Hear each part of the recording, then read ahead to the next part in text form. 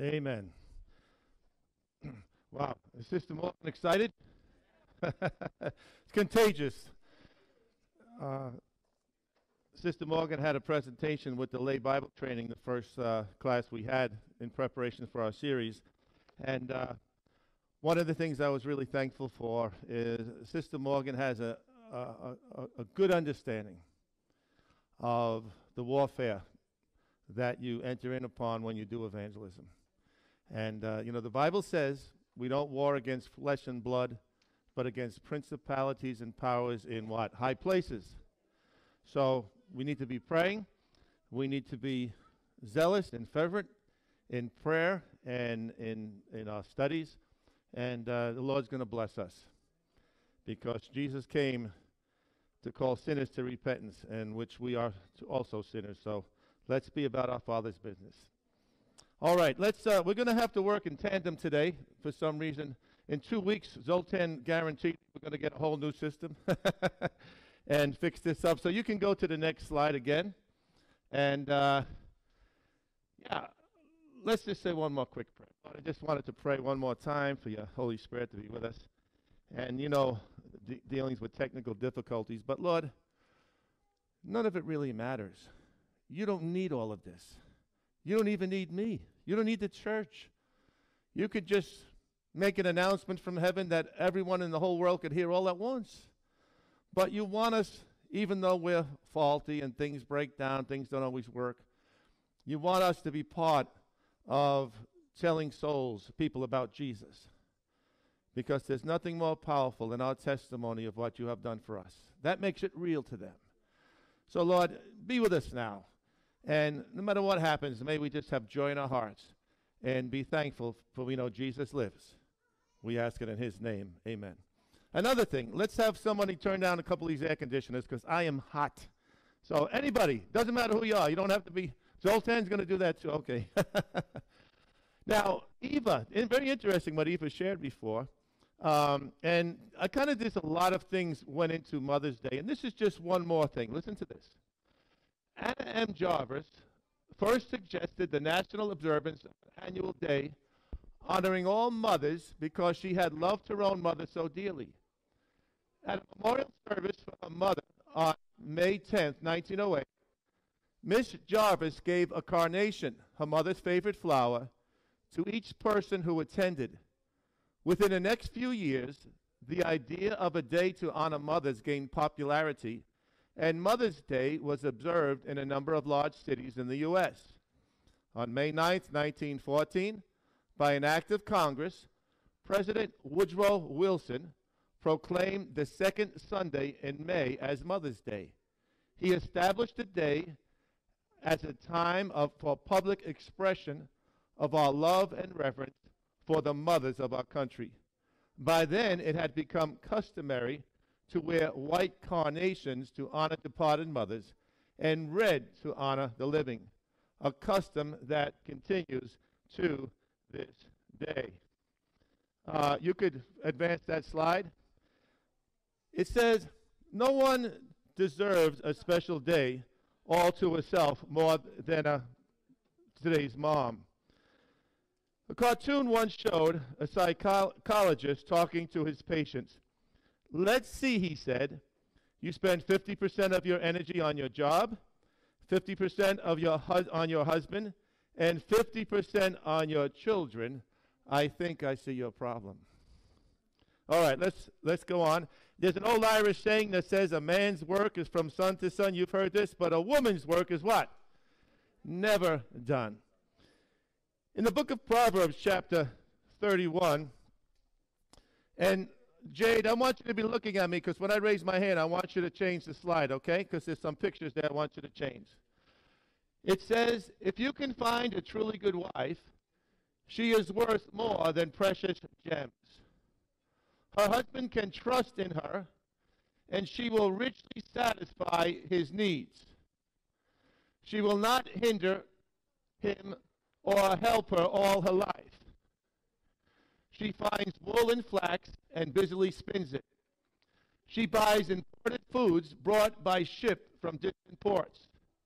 She gets up before dawn to prepare breakfast for her household plans the day's work for her servant girls. She goes out to inspect the field and buys it. With her own hands, she plants a vineyard. She is energetic, a hard worker, and watches for bargains. She works far into the night. She sews for the poor and generously helps those in need. She has no fear for winter, for her household, for she has made warm clothes for them all. She also upholsters with finest tapestry. Her own clothing is beautifully made, a purple gown of pure linen. Her husband is well known, for he sits in the council chamber with the civic leaders. She makes belted linen garments to sell to the merchants. She is a woman of strength and dignity and has no fear of old age.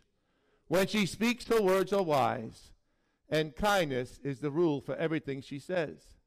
She watches carefully all that goes on throughout her household and is never lazy. Her children stand and bless her. So does her husband. He praises her with these words There are many fine women in the world, but you are the best of them all. Does the father say that to the mothers? we should, right? We should, right, fathers? Charm can be deceptive, and beauty doesn't last. Isn't that the truth? But a woman who fears and reverences God shall be greatly praised. Praise her for the many fine things she does. These good deeds of her shall bring her honor and recognition from people of importance. Can you say amen? A teacher gave her class of second graders a lesson on the magnet and what it does. The next day, in a written test, she included this question My full name has six letters. The first one is M. I picked things up. What am I? When the test papers were turned in, the teacher was astonished to find that almost 50% of the students answered the question with the word mother.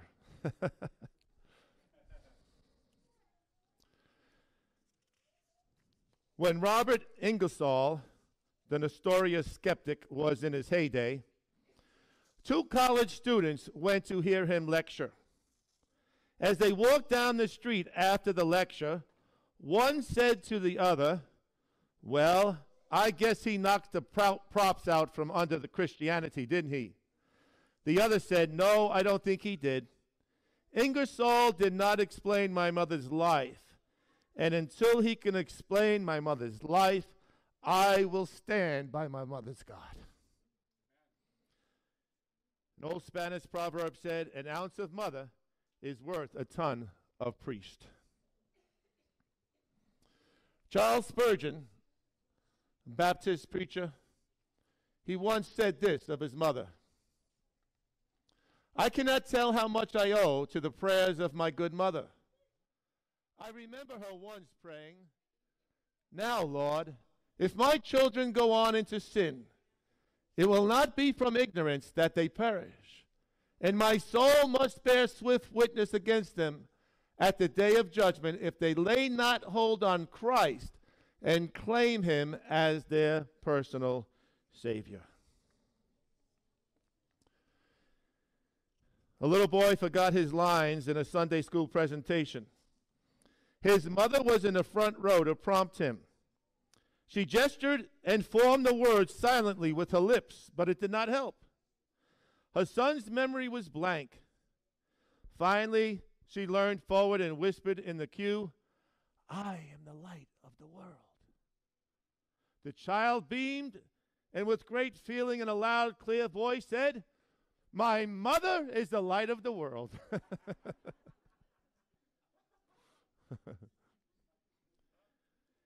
in the book of in the book of 1 Corinthians chapter 11 verses 11 and 12, it says, "Neither is man independent of woman, nor woman independent of man in the Lord. For as woman came from a man, even so man also comes through a woman." So you see this interconnectedness between man and woman is God ordained. It cannot be separated. We are all created equal in God's sight. Back in the Garden of Eden, as we go back to the book of Genesis, chapter 2, in verse 21, it says, The Lord God caused a deep sleep to fall upon Adam, and he slept. And he took one of his ribs and closed up the flesh thereof. And the rib which the Lord God had taken from man, he made a woman, and brought her unto the man. And Adam said, This is now bone of my bones, and flesh of my flesh. She shall be called woman, because she was taken out of man. Therefore a man shall leave his father and mother, and shall cleave unto his wife, and they shall become one flesh. I'd like to share with you just a, an interesting story about Thomas Edison. Lillian Jones writes that on a, on a great biographer, Ida M. Tarbell's 80th birthday, someone asked her to name the greatest person she had ever met. She responded, The greatest persons I have ever met are those nobody knows anything about. Once the New York Times was asked to help a group of club woman, women decide on the 12 greatest women in the United States. After due consideration, the editors replied, The 12 greatest women in the United States are women who have never been heard of outside of their own homes. Jones concludes I ask you, who was greater, Thomas Edison or his mother? When he was a young lad, his teacher sent him home with a note which said, Your child is dumb. We can't do anything for him. Mrs. Edison wrote back, You do not understand my boy. I will teach him myself. And she did, with the results that are well known. You know, God uses illustrations in the animal kingdom to depict his love for all mankind, for you and I. In Proverbs chapter 17, verse 12, there's a Bible text that says this It is safer to meet a bear robbed of her cubs than for a fool caught in his folly. Any of you have ever run across a bear out in the wilderness like I have? You know what I'm talking about especially if it's with its cubs. And in Matthew chapter 23, verse 37, Jesus said this O Jerusalem, O Jerusalem, the one who kills the prophets and stones those who are sent to her. How often I wanted to gather your children together as a hen gathers her chicks under her wings, but you were not willing.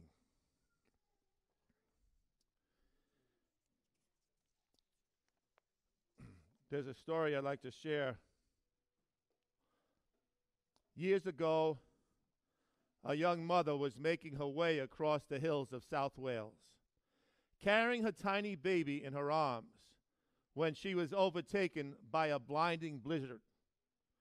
She never reached her destination, and when the blizzard had subsided, her body was found by searchers beneath a mound of snow. But they discovered that before her death, She had taken off all her outer clothing and wrapped it around her baby. When they unwrapped the child to their great surprise and joy, they found that he was alive and well. She had molded or mounded her body over his and given her life for the child, proving the depths of her mother of her mother's love. Years later, David Lloyd George, grown to manhood, he became Prime Minister of Great Britain and without doubt one of England's greatest statesmen.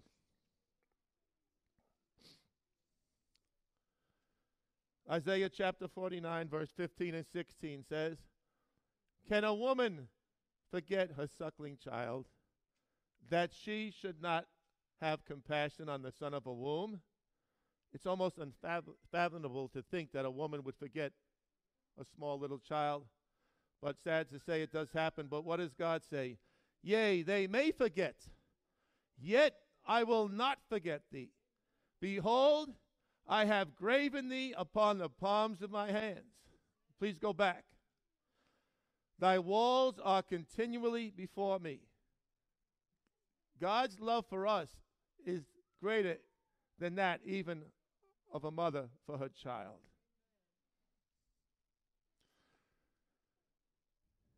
You know, when Jesus hung on the cross on Calvary, one of the last things he did is recorded here in John chapter 19, verses 25 through 27. Now there stood by the cross of Jesus his mother and his mother's sister, Mary, the wife of Clopas, and Mary Magdalene. When Jesus therefore saw his mother and the disciples whom he loved standing by, he said to his mother, Woman, Behold your son.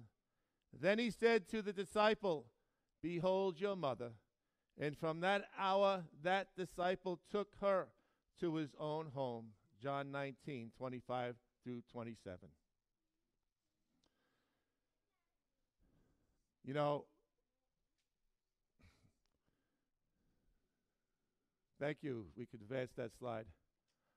This is a picture of my mother. This is going to be the first Mother's Day that I'm not going to have my mother. And she was such a special person. And not only was she my mother, but she was also my sister's mother, who was also a mother. And I wanted to just acknowledge my sister Lois also who gave so much of her heart and soul to my mother and took care of her in the late, latter years of her life. Day and night in hospice, while the rest of us left, my sister stayed with her. So I just want to say thank you, Lois, for doing that. You've been a good mother, and you treated our mother well. And I also like to acknowledge my wife, Barbara. She wished she could be here, but she was not able to come today. Most of you know why. But when I first saw Barbara and I first met her, she was a nanny in New Jersey. She was just in the last senior year of high school, going into the senior year. And that summer, between junior and senior, she got a job in New Jersey as a nanny, taking care of children. She took Amtrak all the way from Boise, Idaho, all the way to New Jersey. And that summer, she was a nanny and before she went back, she came to where I was working in the staff meeting. Had, we had a mutual friend, or she had a friend. We sooner or later we became mutual friends. and uh, when I got to talk with her and know what she was doing, I said, "Wow!" I said, "That girl's going to make a good mother one day." and that's one of the reasons I married her because I knew she would be a good mother. You know, she is the most wonderful mother uh, I, I could ever have dreamed of. My kids love and adore her. You know, I mean, daddy's okay. You know, daddy's the preacher. you know how it is. But uh, mom is mom. And mom gets all the phone calls, and mom spends time talking to them about their little issues and problems. And they're all grown up now, but you never stop being a parent. You never stop being a mother or father. You will love your kids until the day you die and you will do anything for them. Like that mother who sacrificed her life for her child. We would all do the same in a heartbeat, wouldn't we? In a heartbeat. So, from me to you, Jupiter Church, Palms West Church, I would just like to tell you today, Happy Mother's Day. And I want to just say, God bless you all. And before we pray, Sonia, uh, do we have a couple of things we want to do right now? Where's Sonia? Somebody go find Sonia. Hopefully, she didn't go home yet. But um, we did a couple of things for the mothers, right? And uh, we talked about that. We got a couple more things we're going to do, right, Arthur? So go find Sonia. She's She's probably dealing with the children somewhere. She, she's a good mother, too, isn't she? Sonia, I'm so happy to see you. I thought you went home to walk the dog. no, Sonia, come on up here for a minute. One of the things we want to do is acknowledge a few mothers here today. And so, Sonia, I'm going to let you uh, uh, speak a little bit to that. I guess we don't have the handheld mics anymore, but we're going to get new ones in two weeks, Arthur. Mark it down. so here comes Zoltan, our audio technical guy. And so, Sonia, go ahead. Pastor knows how much I love to talk. um, Miss Morgan, would you please stand? Would you please come up here?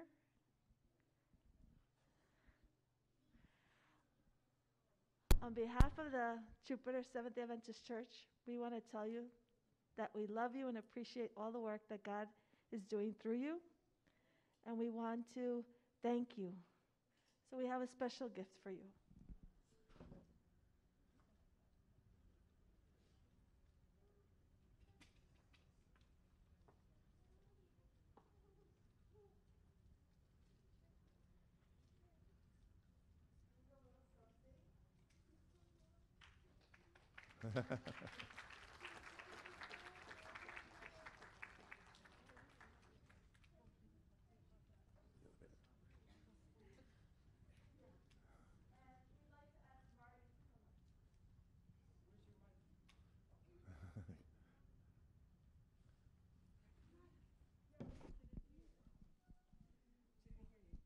She heard me. She just doesn't want to come up.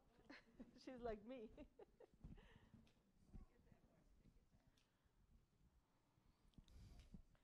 Marty, we are your church. We love you so much. And we're so, so sorry about your loss. I know. And we just want to tell you that you are a wonderful mother and a wonderful woman and a wonderful wife, and that we love you very much. And we just wanted to extend Oh, our you. love to you to give you a little gift to Thank cheer you so up. much. Thank you so much. Amen. Amen. We love you. I'll take it, I'll take it for you. And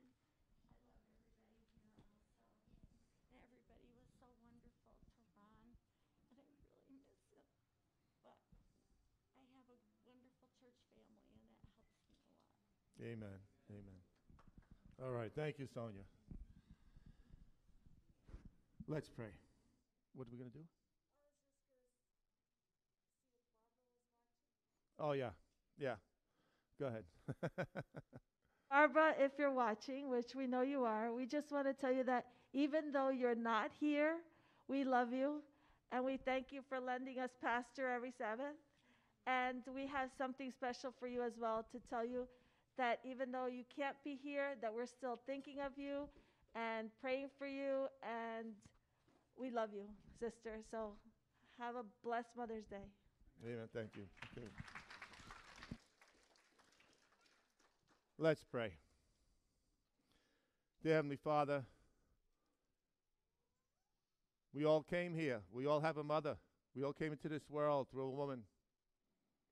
And you created man and woman on the sixth day of creation. You brought them together as one.